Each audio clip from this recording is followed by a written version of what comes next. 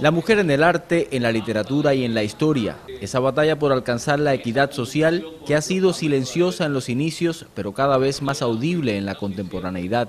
Sobre el tema dialogaron intelectuales y enfuegueros en la peña literaria para leer la historia, un espacio que mueve ideas y gana seguidores.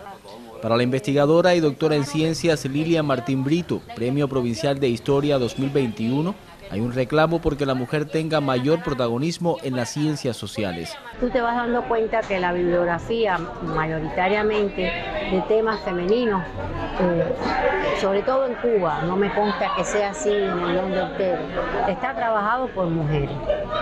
Eh, es decir, que hay como un reclamo de la necesidad de que la mujer en la literatura y en las ciencias sociales en general tengan un, un protagonismo mayor que tienen. No dudo que ha habido hombres que han escrito sobre mujeres, pero normalmente eh, eh, no sucede así. La escritora Ana Teresa Guillemí, premio Jaguar el pasado año en Cienfuegos, compartió parte de la obra de importantes autoras cubanas como Gertrudis Gómez de Avellaneda y Dulce María Loinás, quienes ya en sus versos exaltaban la condición femenina en igualdad de derechos y oportunidades. Eh, yo pienso que nos queda mucho por decir, que no está todo dicho y que el papel de la mujer es tan importante como el del hombre.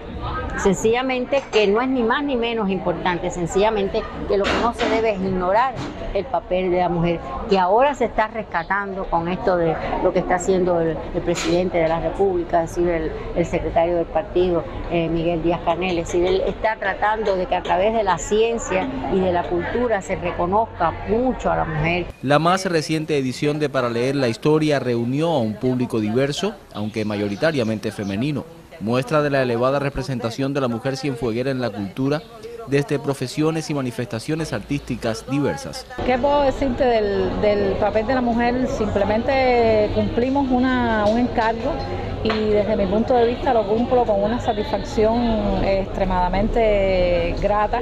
Es muy placentero para mí dirigir el Centro Provincial del Libro, es muy placentero para mí trabajar en la cultura porque eh, la cultura es mi razón de ser. El anfitrión del espacio, el historiador Orlando García Martínez, presidente de la UNIAC en la provincia, aprovechó la ocasión para sugerir un título necesario de la escritora norteamericana Rebecca Scott. Papeles de libertad narra la odisea de los ancestros africanos en el camino hacia la emancipación contada por una mujer. Ángel Bermúdez, Notisur.